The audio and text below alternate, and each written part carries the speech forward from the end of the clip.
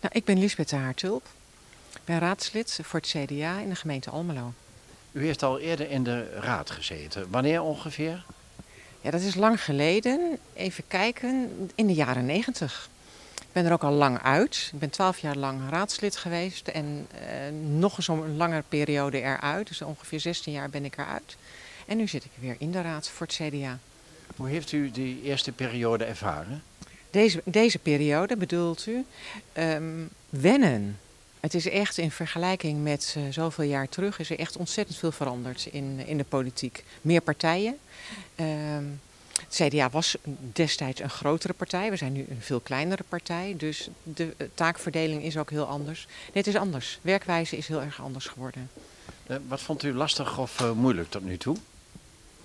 Nou, wat ik moeilijk vond, en vind ik nog steeds wel, dat je stapt in een rijdende trein. Je hebt dossiers die al lang lopen. En, dan moet je, en op een gegeven moment komt daar weer een besluit over, over bepaalde onderwerpen. Ja, dat moet je wel allemaal gaan inlezen. Je moet alles inlezen van wat er eerder is geweest. Dat vond ik wel lastig.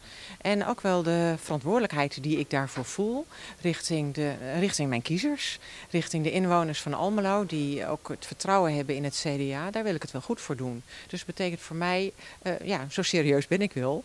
Ik wil mijn onderwerpen en de, de onderwerpen waarvoor ik in de raad ook zit, goed doen. Nou, de allereerste raadsperiode, toen was er nog helemaal geen dualisme. Er was dus nog helemaal geen griffie.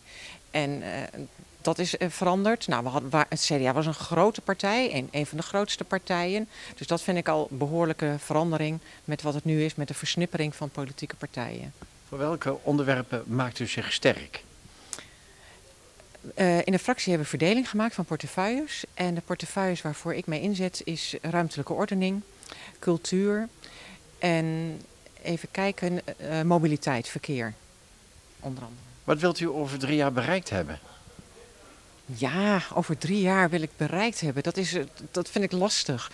Over drie jaar wil ik bereikt hebben dat wij als CDA-fractie de grootste zijn. Dat er, dat er meer mensen het vertrouwen ook hebben in onze fractie dat wij het goed doen voor de stad.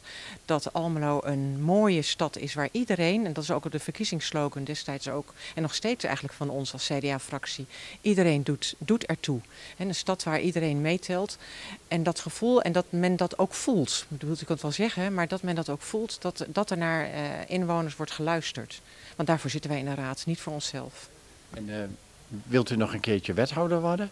Nou, dat is mijn stap te ver. Laat, laat ik eerst maar eens dit uh, goed doen. En dit vind ik al uh, best wel pittig hoor. Het is veel werk, echt. Je doet het met, naast mijn huidige werk. Ik heb een eigen PR-bureau. Uh, ik doe het er allemaal maar bij. En, en, en dat serieus, zo ben ik. Moet allemaal wel kunnen. Dus zo is het goed.